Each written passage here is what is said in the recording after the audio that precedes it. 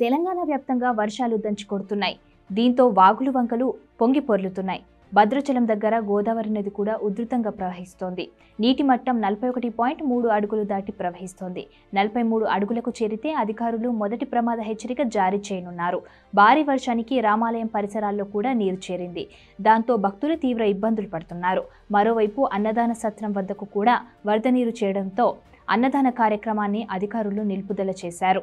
గోదావరికి వరద ఉధృతి పెరుగుతూ ఉండటంతో అధికారులు అప్రమత్తమయ్యారు. అధికార యంత్రాంగాన్ని భద్రాద్రి కొత్తగూడెం కలెక్టర్ ఎప్పటికప్పుడు అలర్ట్ చేస్తోంది. ఇరవై నాలుగు గంటలు పనిచేసేలా కలెక్టర్తో పాటు ఆర్డీఓ కార్యాలయాలు చర్ల దుమ్ముగూడెం భద్రాచలం బూరుగంపాడు అశ్వాపురం మనుగూడు పీనపాక తహసీల్దార్ కార్యాలయాల్లో కంట్రోల్ రూమ్లను ఏర్పాటు చేశారు. భద్రాచలం దగ్గర వరద మరింత పెరిగే అవకాశం ఉందని అధికారులు అంచనా వేస్తున్నారు.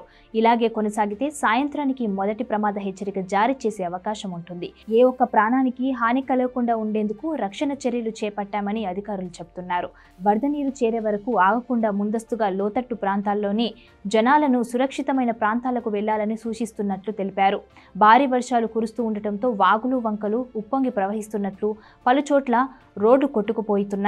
ఈ క్రమంలో వాగులు వంకలు దాటే ప్రయత్నాలు కూడా చేయొద్దని అధికారులు చెబుతున్నారు. అవసరమైతేనే ప్రయాణాలు పెట్టుకోవాలని సూచిస్తున్నారు. కాళేశ్వరం త్రివేణి సంగమం దగ్గర గోదావరి ప్రాణహిత నదులు పరవళ్ళు తొక్కుతున్నాయి. తెలంగాణ మహారాష్ట్రలోని ఎగువ ప్రాంతంలో కురుస్తున్న వర్షాలతో ప్రాణహిత నది ఉధృతంగా ప్రవహిస్తోంది. గోదావరి వరద కారణంగా ఏలూరు జిల్లా పోలవరం దగ్గర గోదావరి నీటి మట్టం క్రమంగా పెరుగుతోంది. పోలవరం ప్రాజెక్టు వద్ద గోదావరి నీటి మట్టం ముప్పై పాయింట్ ఆరు వందల ఎనభై మీటర్లుగా నమోదైంది. ప్రస్తుతం ప్రాజెక్టు నలభై ఎనిమిది గేట్ల ద్వారా మూడు లక్షల పదిహేను వేలకు క్యూసెక్యూలకు పైగా నీటిని దిగువకు విడుదల చేస్తున్నారు.